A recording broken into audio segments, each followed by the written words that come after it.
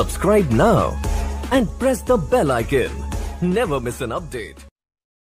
एक इंसान जब मर जाता है तो उसका दिमाग सात मिनट तक ज़िंदा रहता है, जिसमें वह अपनी ज़िंदगी की सभी यादों को एक सपने की तरह देखता है। एक इंसान को अपनी ज़िंदगी के अंतिम क्षणों में अफसोस होता है कि वो अपने सपने पूरे नहीं कर पाया। उसने क्या क्या गलतियाँ की, वो क्या कुछ कर सकता था, क्या कुछ बन सकता था, लेकिन उसके पास रह जाता है तो सिर्फ़ अफसोस। कोशिश करना की आपको ज़िंदगी में अपने किए पर कभी अफसोस ना हो। लेकिन अभी तो लॉकडाउन चल रहा है। घर में बैठे बैठे डिप्रेशन आने लगा है। पढ़ाई करना तो दूर की बात एग्ज़ाम की तैयारियाँ करना तो दूर की बात। अब तो ये भी याद नहीं रहता कि आज सोमवार है या मंगलवार। सोने के टाइम पर जागते रहते हैं, जागने के समय पर नींद आती है। आपको लगता है कि सारी दुनिया में हर इंसान का यही हाल हो रहा होगा तो जरा मुझे एक चीज़ बताइए। जैसा सब सोचते हैं, जैसा सब करते हैं, वैसा ही सोचने और वैसा ही करने से क्या आपका भला होने वाला है? लॉकडाउन एक न एक दिन खत्म हो जाएगा, ज़िंदगी पहले जैसी हो जाएगी। फिर से आपको अपनी पढ़ाई, अपने एग्ज़ाम और अपने कैरियर के बारे में सोचना पड़ेगा, और तब आपको याद आएगा कि आपके पास समय था,